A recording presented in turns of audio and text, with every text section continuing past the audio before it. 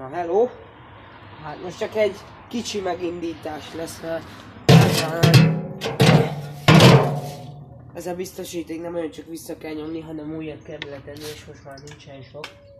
Na ugye lejött a motorra mindig a csatlakozó, most csak egy gyors indítás lesz. Most figyelj, most indítom.